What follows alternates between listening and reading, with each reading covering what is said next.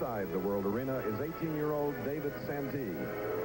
And David has had the crowd with him from the very start. He's an exciting and strong free skater.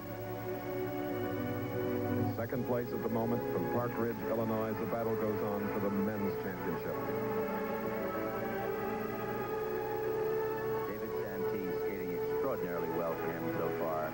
Not an innately superior athlete. He has overcome every possible obstacle in his court. Extraordinarily so far this evening, performing triple flips, triple salchows, triple toe loops, one after the other. He's really developed into a, a super, super performer. Look at that combination right there. Not always in the best of position, but he certainly is pulling off these jumps tonight.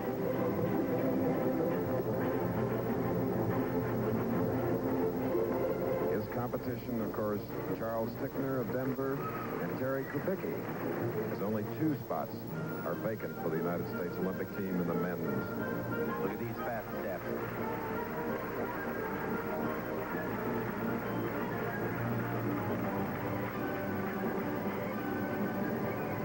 Any major mistakes are going to drop one of these three people off the team.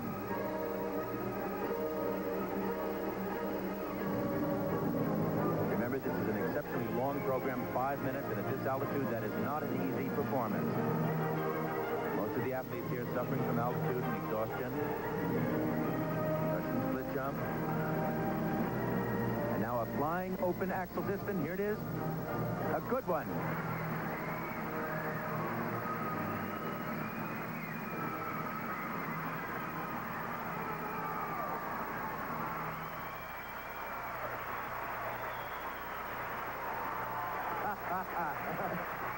He knows he's done a really good job.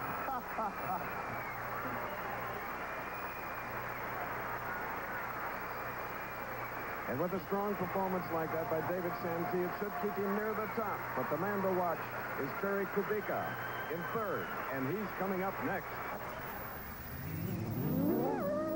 From Cypress, California, Terry Kubicka. And he has got to skate superbly tonight. He has not been performing well during the week. He's in third place going into the finals here.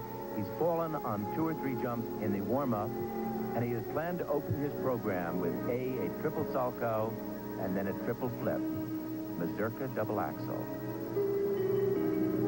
He's a young man with extraordinary athletic ability.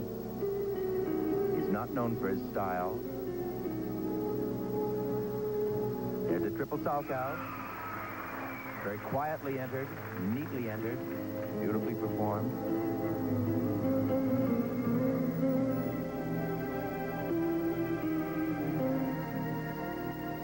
Coming up now, the combination triple flip double axel.